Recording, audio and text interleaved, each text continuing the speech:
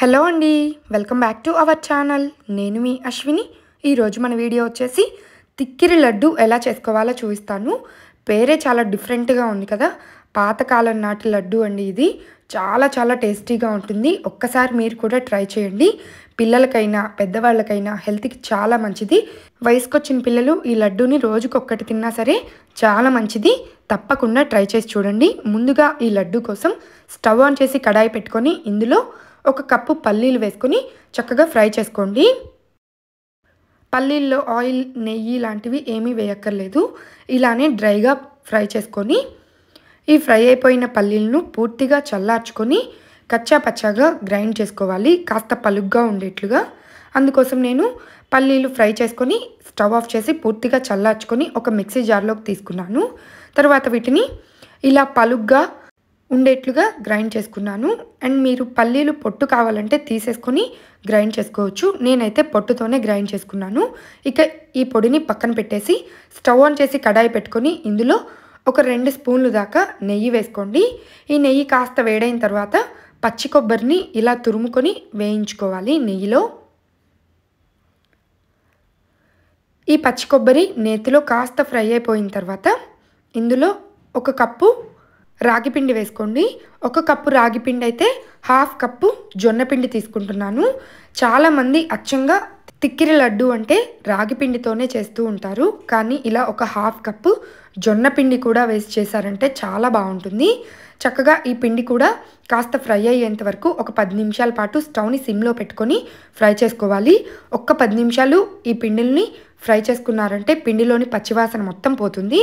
ఇక ఈ పిండి కూడా ఫ్రై అయిపోయిన తర్వాత ఇందులో ముందుగా గ్రైండ్ చేసుకొని పక్కన పెట్టుకున్న పల్లీల పౌడర్ని ఇందులో వేసుకొని తర్వాత ఒక స్పూన్ దాకా యాలుకల పొడి కూడా వేసుకొని ఇవి రెండు కూడా ఒక నిమిషం పాటు ఫ్రై చేసుకోండి. మొత్తం బాగా కలిసేంత వరకు.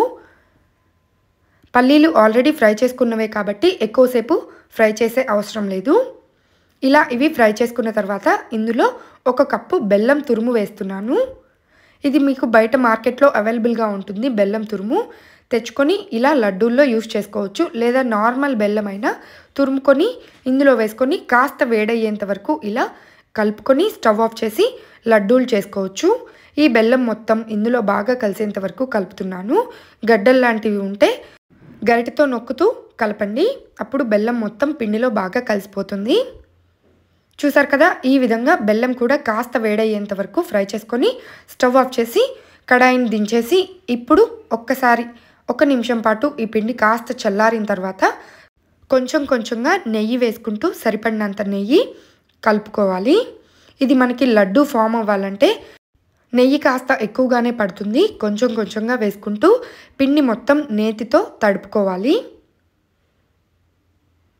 నాకైతే ఒక కప్పు నెయ్యి పట్టిందండి ఇందులో. చూసారు కదా ఈ విధంగా కొంచెం కొంచెంగా వేసుకుంటూ కలుపుకున్నారంటే పిండి మొత్తం నెయ్యితో తడిచిన తర్వాత లడ్డు ఫామ్ అవుతుంది అనుకున్నప్పుడు నెయ్యి స్టాప్ చేసి వేయటం లడ్డూలు చేసుకోండి. ఈ విధంగా ఈ లడ్డు మిశ్రమానికి సరిపడినంత నెయ్యి వేసుకొని కలుపుకున్నాను. ఇక నెక్స్ట్ కాస్త గోరువెచ్చగా ఉంటుంది. కొంచెం చెయ్యి తడి చేసుకుంటూ అన్న లడ్డూలను చుట్టుకోండి.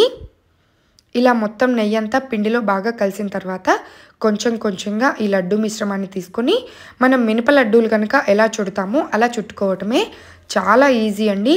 కానీ మొదట కొంచెం వేడిగా ఉంటుంది కాబట్టి జాగ్రత్తగా చిన్న చిన్న లడ్డూలని చుట్టుకోండి. ఇలా వన్ బై వన్ లడ్డూలన్నింటినీ చుట్టుకొని ఒక ప్లేట్లోకి తీసుకోవాలి. మీరు కాస్త పెద్ద సైజులో కావాలంటే కొంచెం పెద్ద సైజులో అయినా లడ్డూలు చేసుకోవచ్చు. ఇందులో వేసుకున్న ప్రతి ఒక్క ఇంగ్రీడియంట్ హెల్త్కి చాలా మంచిది. అందుకనే ఇంతకుముందు పూర్వకాలంలో మన పెద్దవాళ్ళు ఈ లడ్డూలు చేసి పెట్టేవాళ్ళు. మీరు కూడా ట్రై చేసి చూడండి. పిల్లలకు రోజుకు ఒక్కటి ఇచ్చినా సరే చాలా బలంగా ఉంటారు.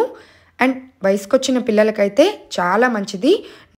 అండ్ మీరు స్కూల్కి వెళ్తున్నప్పుడు పిల్లలకి స్నాక్స్ బాక్స్లో కూడా ఒక రెండు లడ్డూలు పెట్టించారంటే చక్కగా ఈజీగా కంప్లీట్ చేసుకొని తీసుకొస్తారు. అంత టేస్టీగా ఉంటాయి.